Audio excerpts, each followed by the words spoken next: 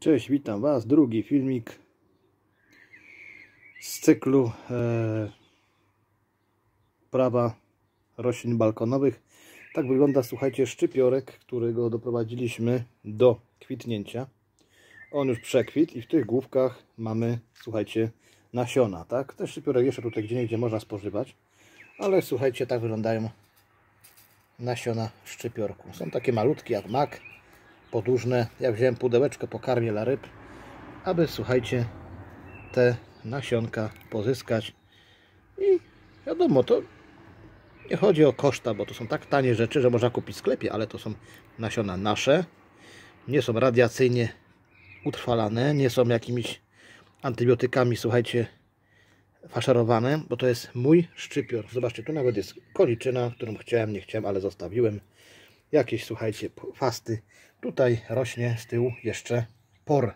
Por będzie zbierany na jesień, aż będzie przynajmniej 1,5-2 cm średnica łodygi. Słuchajcie, widzimy, o, zbliżenie zrobię. Bierzemy sobie coś takiego.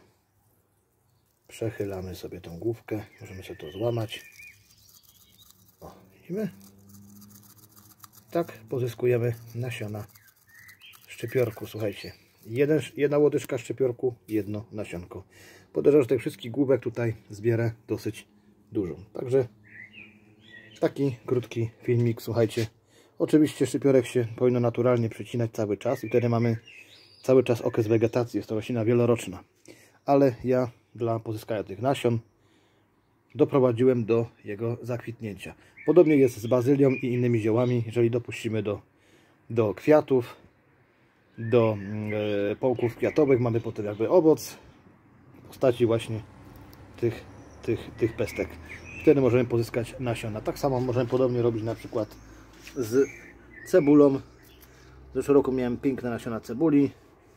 Zobaczymy jak nam się to uda. Ciekawostką jest, że powojnik, którego miało tu nie być, właśnie pięknie nam zakwitł na białe, dzwonkowate kwiaty. Także obalam mit, że powolniki są jednoroczne, gdyż ten powolnik już czwarty lok u mnie się, słuchajcie, tutaj chowa. Chowa. I tyle. Pozdrawiam Was. Cześć.